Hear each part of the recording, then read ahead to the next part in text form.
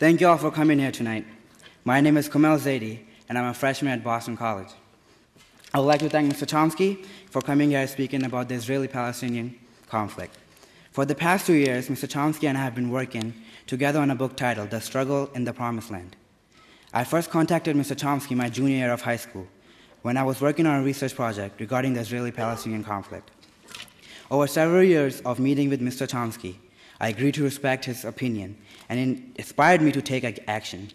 I dedicated my book to informing more people about the Israeli Palestinian conflict. My book, The Struggle in the Promised Land, will be revealing the truth about what goes on in the Gaza Strip and the West Bank, and how we can work together and resolve this issue. I hope today's lecture will open your eyes to see the truth about this conflict. And now, without further ado, it's my pleasure to introduce you to a man who needs no introduction, Professor Noam Chomsky.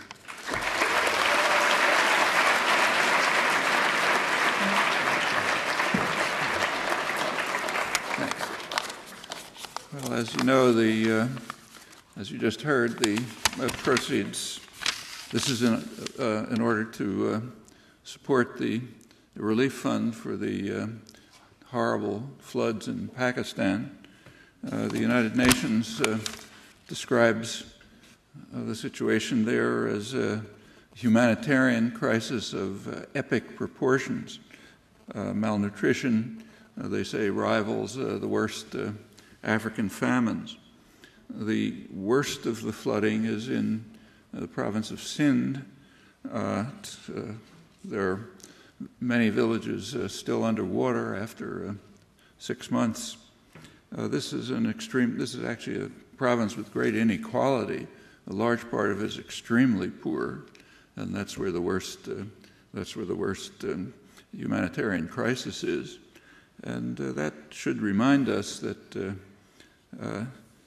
natural catastrophes are not just natural, there's a human element that's kind of brought out uh, dramatically right now by the fact that, um, as I'm sure you've read, there have been huge floods in Australia, uh, large enough so that uh, the third largest city, Brisbane's been underwater.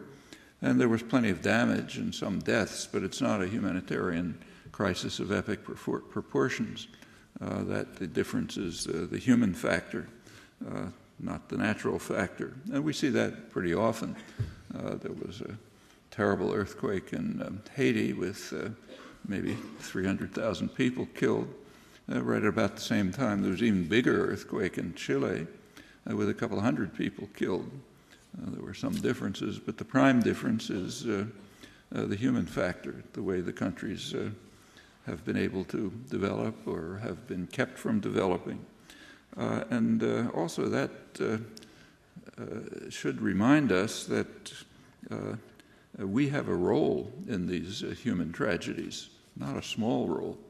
In Haiti, in fact, an enormous role, an overwhelming one. in Pakistan as well. Pakistan has suffered very severely from a series of uh, pretty terrible uh, dictators, military dictators. Uh, the worst of them was uh, Zia Haq, happened to be Ronald Reagan's favorite. He, under Reagan's watch, he developed nuclear weapons. The Reagan administration pretended they didn't know it so that they could keep funding him. Uh, he also carried out uh, radical Islamization of the country uh, with Saudi help. That's where those famous uh, madrasas come from that teach nothing but the Quran and uh, train people for uh, uh, uh, Islamic terror and Islamic radicalism. All that's, we have a substantial contribution to that. we've seen some pretty striking examples of it recently, as you may have seen. That there was an assassination of a well known figure, Salman uh, Taseer, uh, and uh, his assassin uh, was uh, celebrated in the country. A huge celebration for the assassin. Taseer had opposed the blasphemy laws that had been used to punish a young woman, and the assassin was cheered and honored. one of the most there was a big picture in the press here of uh, lawyers, group of lawyers who were cheering the assassin, young lawyers. Those were pretty much the same young lawyers who were opposing the dictatorship and had called for reform. Uh, now they're praising the assassin of uh, a figure who uh, dared to oppose the blasphemy laws. And they are the graduates of the um, Zia Haq uh, Reagan uh, Saudi uh, um, madrasas. it goes beyond that. there's now these two contributions of the Reagan administration, the radicaliz- radical Islamization and the nuclear weapons, are coming together. Uh, one of the most uh, dramatic revelations of, uh, WikiLeaks uh, was a series of uh, uh, cables from the American ambassador in Pakistan, Ambassador Patterson then. And what she was reporting to Washington was that U.S. actions in Afghanistan and Pakistan are sharply increasing the already overwhelming uh, antagonism to the United States in the country. This is drone attacks, uh, pressures on the Pakistani army to uh, uh, attack the tribal areas, which have, even under the British were kept free from intervention, uh, driving Afghani forces, Taliban, into Pakistan. all of this is radicalizing the country even more. And she warns Patterson that there's now for the first time a non trivial threat that uh, the uh, uh, fissile material for the nuclear weapons production may find its way into the hands of uh, radical Islamist terrorists. That's kind of the ultimate nightmare. Uh, the nuclear weapons program is sharply increasing more rapidly than anywhere in the world. That's in part a reaction to uh, India's uh, nuclear programs, and we've had a hand in that too. Uh, a couple of years ago, the uh, first the Bush administration, now the Obama administration, is broke the changed American law and, and broke the regimen on transfer of nuclear technology uh, to India. India hasn't signed the non-proliferation treaty, but uh, we now indirectly support the nuclear weapons program by uh, providing them with uh, civilian nuclear technology, which is easily transferable to military uses, and also frees them to use their resources for more military uh, nuclear weapons, and they're doing it. Uh, a year ago, the uh, United Nations Security Council passed a resolution calling on all states to observe the Nuclear uh, Proliferation Treaty.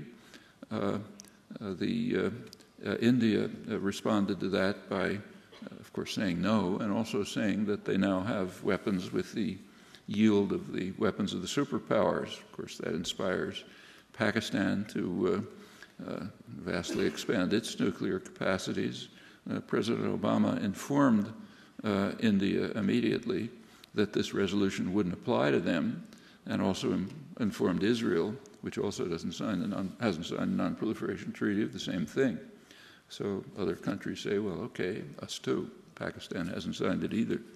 Uh, events uh, have consequences, and these events is partially responsible for the immense uh, poverty and fragmentation of Pakistan, which is leading to the humanitarian crisis of epic proportions, but it's also uh, potentially leading the way to, say, a, a, a dirty bomb in uh, New York City or something like that.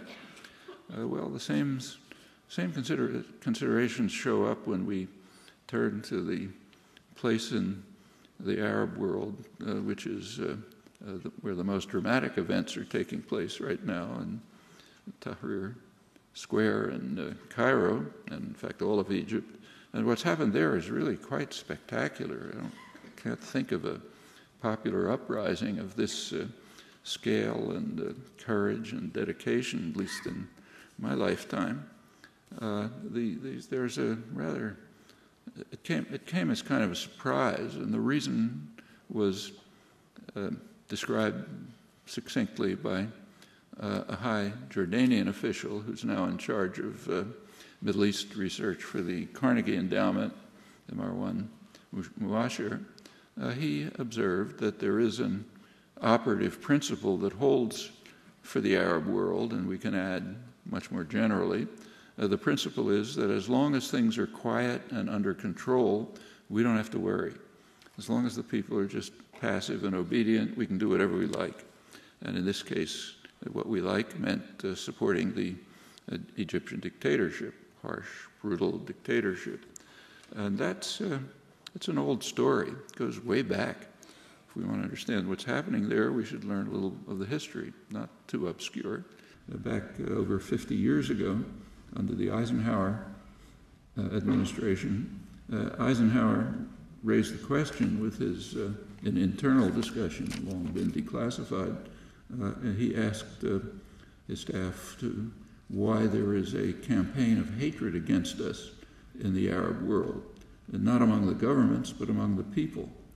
And the National Security Council, a leading uh, planning agency, had came out with a memorandum on this topic, and it said uh, something like this: It said there's a perception in the Arab world that the United States supports harsh and brutal dictators and blocks democracy and development, and we do this because we want to maintain control over their uh, immense energy supplies.